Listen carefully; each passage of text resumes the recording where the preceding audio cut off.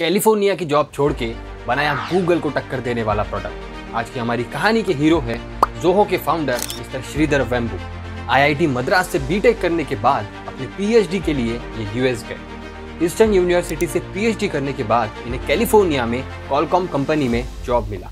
पर ये हमेशा अपने भाई से बात करते थे कि कैसे हम अपने टैलेंट से हमारे देश को फ़ायदा पहुँचा सकते फिर दो साल बाद अपनी जॉब छोड़ के 1996 में इन्होंने चेन्नई में अपनी कंपनी एडवेंट नेट की शुरुआत की, जो कि बाकी कंपनीज़ के नेटवर्क मैनेजमेंट टूल्स बनाती थी। फिर 2009 में एडवेंट नेट को इन्होंने जोहो कॉरपोरेशन नाम दिया और अब स्मॉल एंड मीडियम बिजनेसेस के लिए सॉफ्टवेयर प्रोवाइड करते थे, ताकि वो टेक्नोलॉजी की मदद से अपना बिज़नेस आसान बना सके। इन्होंने जोहो यूनिवर्सिटी बनाई, जहाँ पे ये हज़ारों स्टूडेंट्स को दो साल तक प्रैक्टिकल ट्रेनिंग देते थे। और दो साल बाद उन्हें जोहो में ही एक अच्छी जॉब दी जाती। है आज पूरी दुनिया में 160 से भी ज़्यादा देशों से 8 करोड़ से भी ज़्यादा बिजनेसेस जोहो के कस्टमर्स हैं, जिसमें अमेजोन नेटफ्लिक्स ओला जैसी बड़ी कंपनीज़ भी शामिल हैं। इतना बड़ा साम्राज्य खड़ा करने के बावजूद भी जोहो के फाउंडर मिस्टर वेम्बू आज भी तमिलनाडु में, अपने छोटे से गाँव में, उसी पुराने घर में रहते हैं। सत्ताईस करोड़ का प्रॉफिट वन बिलियन डॉलर की वैल्यूएशन